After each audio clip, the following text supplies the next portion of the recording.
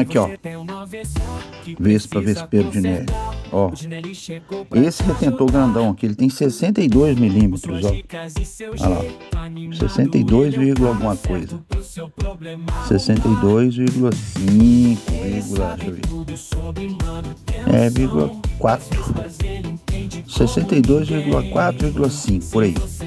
62,5 que tem esse retentor, tá vendo?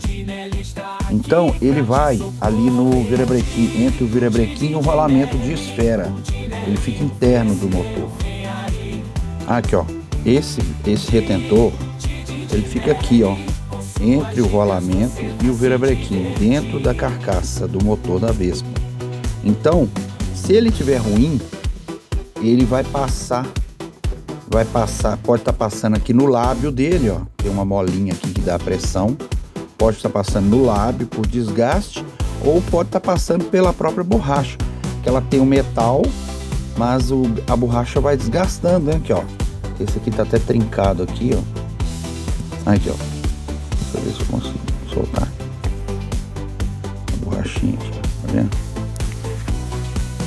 Ó. Aí, ó. Já chegou no metal ali, tá vendo? Então o que que acontece? Se ele der um desgaste acentuado a ponto de passar compressão lá para dentro do câmbio, né? Joga óleo, é combustível aqui para dentro e puxa óleo daqui do câmbio aqui para dentro. Pode ser, pode ser isso. Se for esse do lado de cá, esse aqui do lado de cá, ele sai para cá, sai para fora. Você tira o volante, tira a mesa e tira o retentor. Dá para trocar sem desmontar o motor.